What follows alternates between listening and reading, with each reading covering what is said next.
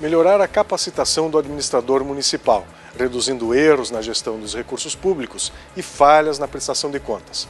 Com esse objetivo, o TCE criou o Programa de Capacitação do Jurisdicionado à Distância, do local onde se encontram. Prefeitos, secretários municipais e presidentes de Câmara, por exemplo, terão acesso por computador a conteúdos específicos voltados à administração pública. Além das várias formas de ensino à distância, nós vamos dar uma ênfase especial ao presencial conectado.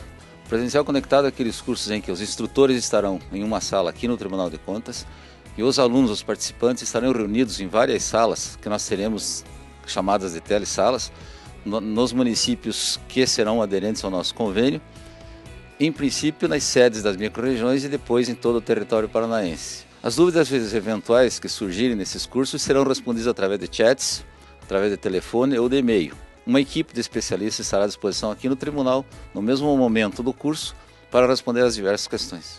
Os cursos estarão disponíveis por banda larga no site do tribunal na internet. Serão transmitidos assuntos como a alimentação dos sistemas de informação e análise de contas e a correta realização de licitações, contratos, atos de pessoal e obras públicas.